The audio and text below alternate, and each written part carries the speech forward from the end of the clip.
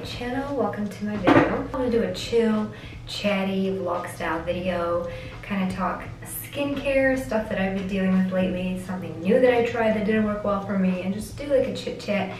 Let's hang out. Also, can we appreciate the latte art today? Not too bad.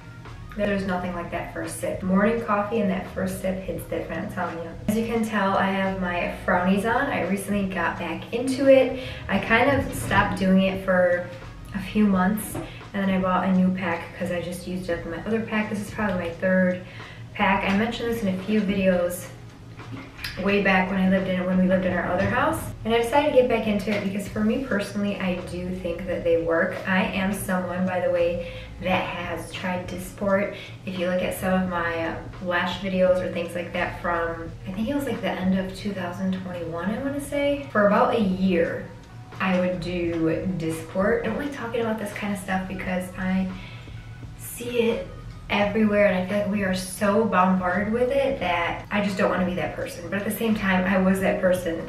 So I'm just trying to keep it real and honest. When I went in for a consult, it was for injections, just being honest. It was wonderful, but she was saying how like they have a deal that I can get Dysport for free and she's been doing it since she was like early 20s or something like that and she has like no wrinkles, it's like smooth like a baby's bottom and I have never, never even considered getting Botox or anything like that in the past. And I'm sitting there like, well, it's gonna be free because of like a package that they had going, then I guess I'll try it. And Dysport, unlike Botox, it's a little bit softer, I would say, and it kicks in a lot faster than Botox, but they do kind of last the same. And I did really love it.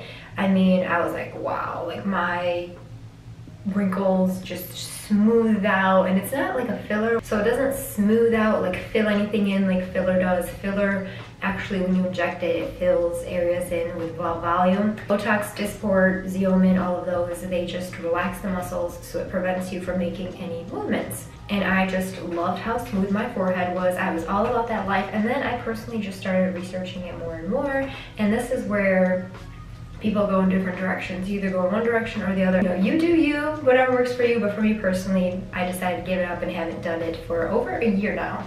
But then I started noticing, you know, my wrinkles are there again, and I'm fine with wrinkles, we're aging, but at the same time you wanna take care of your skin. So these frownies right here allow me to take care of my skin, at least for me personally. They're basically like craft paper, and they're sticky on the other side. You wet the underside, and then as you're holding your skin slightly taut, you don't wanna stretch it out too much. You kind of place it where you want it, and then hold it there and then overlap the other pieces where you want them as well. And what this does is it prevents my forehead from making any movements while I'm sleeping. I'm someone that has pretty overactive muscles, I would say, in the forehead. Probably why I have a lot of static wrinkles at such a young age. And then add to that dry skin, so it's like the perfect combination for static wrinkles. You'll see when I'm doing a lot of my lash videos, I make a lot of expressions and like all the lines come out. Those are not static wrinkles, that's just normal forehead movement. But with that forehead movement, constantly doing that, it can develop static wrinkles, which is what I got. So this keeps me from making any facial movements at night. And then when you take it off, which is what I'm gonna do right now, usually you take a little bit of water. I'm not gonna lie, usually just kind of like rip it off and it can rip off your hair. So do not put these on your eyebrows. Let me tell you that right now. But you just take it off. And as you can tell, my forehead is it's a little bit red right now because my skin is pretty sensitive, especially when I just did something like that. But do you see how smooth and glossed over it is? This does not last, and I think this is where people get really disappointed with frownies because they expect their skin to be like this for the rest of the day. It doesn't last. Your skin kind of relaxes, everything goes back to how it was. But this does a few things. Not only does it keep everything smooth throughout the nighttime and it prevents you from making too many facial movements, it also kind of trains your muscles a little bit. So I'm very aware, especially after I got Dysport, I'm very aware of when I'm doing this versus when I'm just raising my eyebrows just a little bit so that I'm not creating too many dynamic wrinkles. So this kind of keeps you in tune. And over time, I truly believe if you use this every single day for a few months, let's say a month, two, I know it's really hard to use something for like three months consistently, but if you consistently use this, I feel like you will see results. It will look smoother. It's not gonna be when you were like 20 years old. I mean, unless you start when you're 20, which would be ideal. I'm 31, but I feel like you will see little changes. And for me, this is the best non-invasive way. It's easy. When I do my skincare at night, I just do this towards the end. I kind of have a routine now. So I just wanted to share my thoughts on that because I do think they're worth it. You just, you do have to be realistic about your expectations and then also be consistent. But to be honest, that's not even really what I wanted to talk about in today's video. That was just like a random little tangent I went on. I was on Instagram and I started following Noi Skincare and I love her account. She has so much great information. But the reason why I wanted to make this YouTube video is because she does something called the skin reset and so many people have so many great results. And I feel like I'm one of those people where I will really dive into something, research it, read all the reviews, how to use it, why is it beneficial, is this something that can work for me, and then I'll buy it, I'll try it, and then I'm like, this is not working for me, maybe I'm doing something wrong, but it's really not working for me. So the reason why I wanted to make this video is because it did not work for me. It made my skin Oh, my skin was so angry with me, so angry with me. Basically what it is, is it's a skin reset using the Living Libations Sea Buckthorn Oil. This is an oil that is a cleanser. You can see that I used quite a bit, and this sucker is like, I don't know, 50 $60. And then I ended up buying the sandalwood one because some people I read in her stories do much better with the sandalwood one than the original one. So I was like, let me try the sandalwood one, and mm -mm.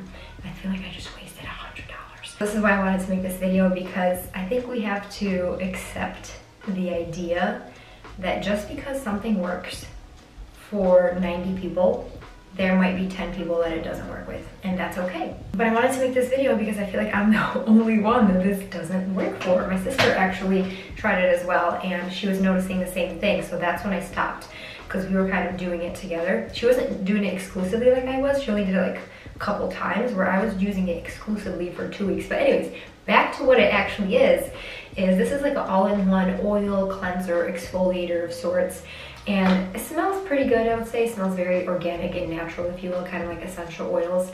And what you do is you're supposed to give yourself a skin reset from all your cleansers, all your skincare products, all everything that you use. Only use this for about seven to 10 days. I did it for almost three weeks.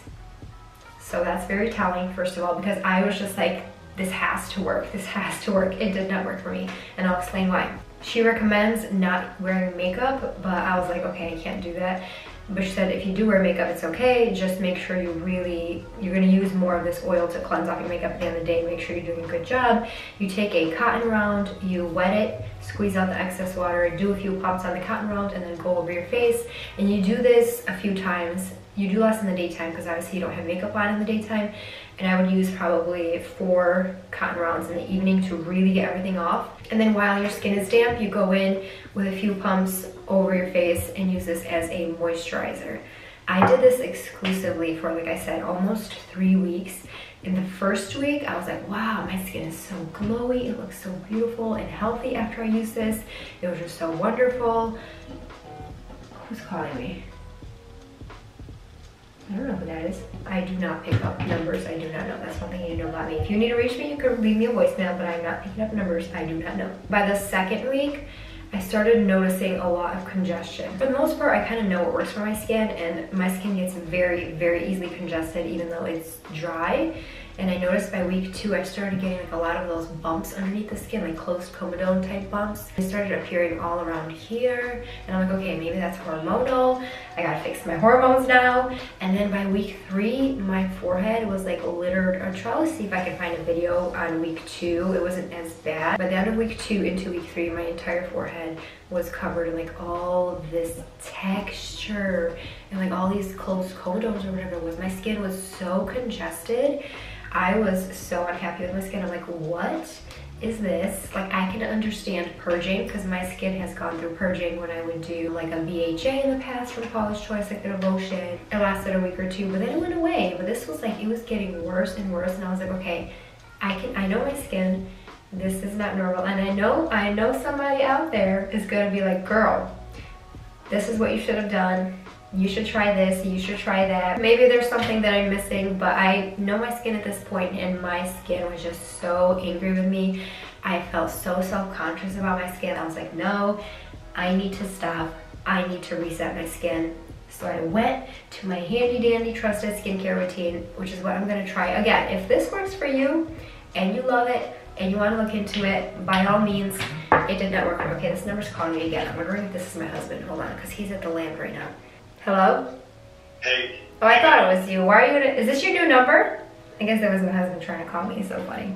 But I didn't recognize the area code because he got a AT&T, he got a trial, AT&T 14 day trial period because at the land where he is right now, by the way, if you watched my life update, we bought land, which is so exciting, and they're doing the driveway, but there's like no service there for Verizon at all. So he decided to try AT&T, which is where the number he was calling me from.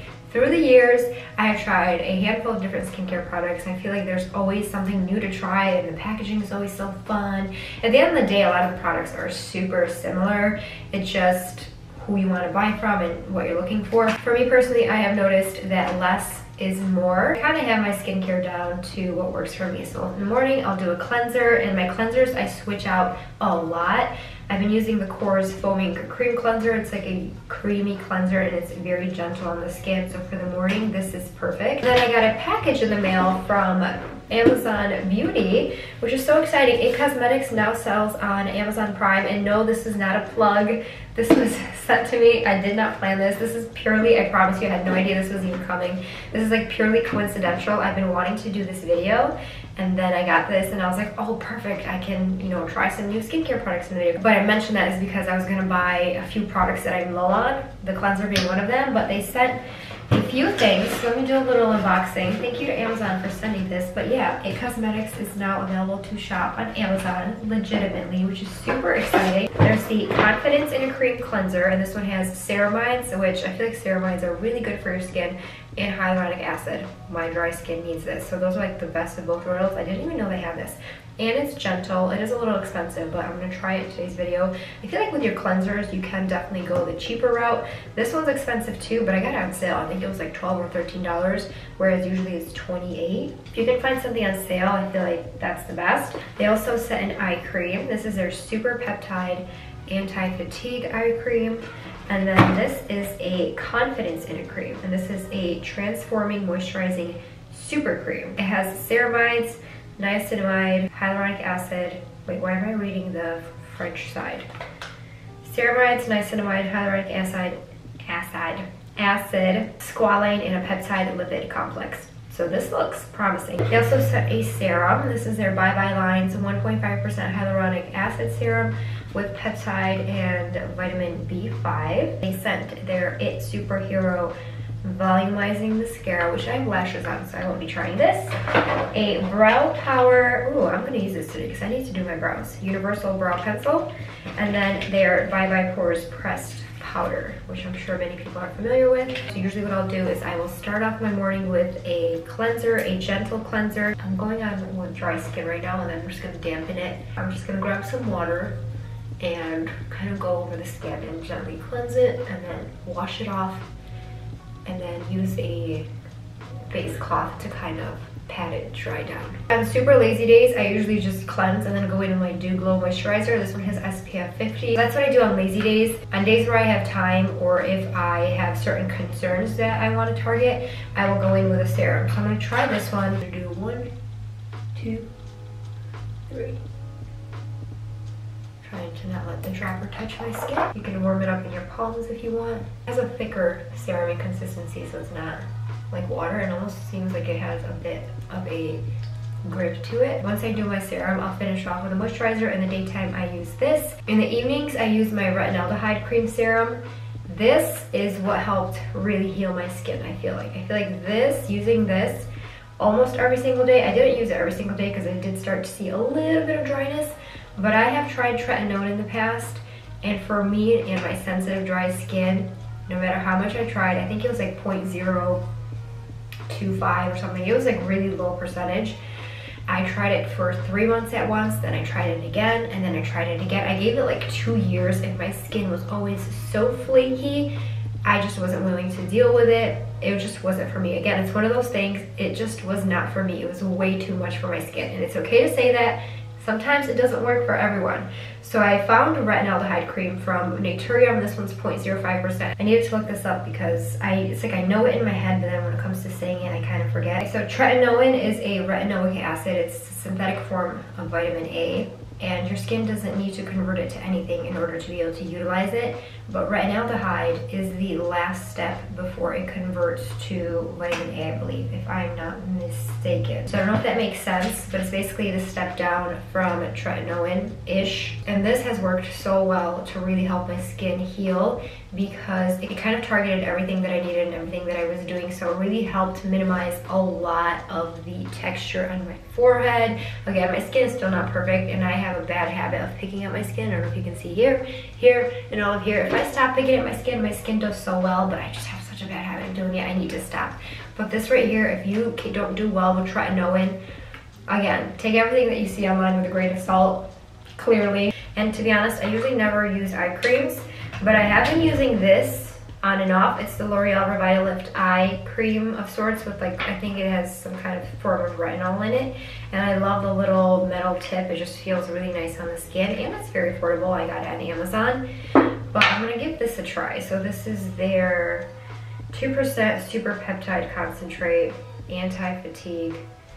We're just gonna dab a little bit and tap it gently into the skin. I'm gonna try this anti-aging. I don't like when brands use anti-aging to be honest because I know we all wanna look our best, but anti-aging is just not a thing. So if we as a society can stop using that phrase, that would be great.